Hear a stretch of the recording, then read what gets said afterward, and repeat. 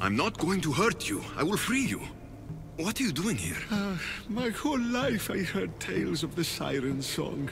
It sounds so sweet, men would gladly die to hear it.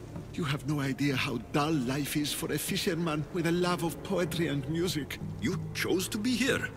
I... I didn't know this is what I would find.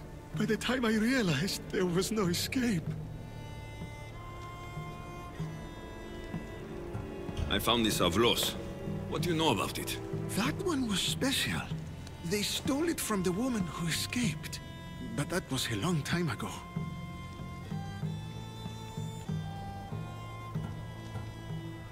This tomb is full of bloodthirsty women. Who are they? No one speaks. They drain my blood, then boil and drink it. In their rituals, they scream into the night. I'm so tired, but I never sleep. Please save me.